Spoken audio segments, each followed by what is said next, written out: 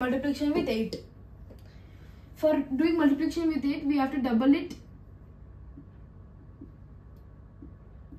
thrice. So for example if i take 2 4 5 2 4 5 here it is 4 so 4 here it is 8 but it's it is from group 2 so 8 becomes 9 and 9 and 0 so 4 is 8 and 9 9 8 and 0 so 980 is the answer for 20 to 245 into 8 so ఎన్ని times double చేసావు oh sorry sorry sorry అందుకే అక్కడ పెట్టుకోవాలి once twice thrice అని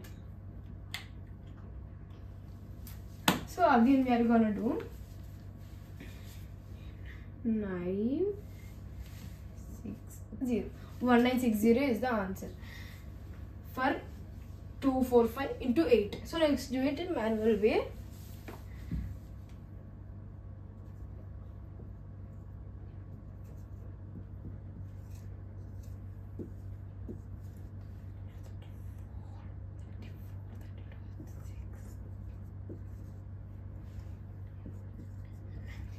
One nine six zero is the answer correct?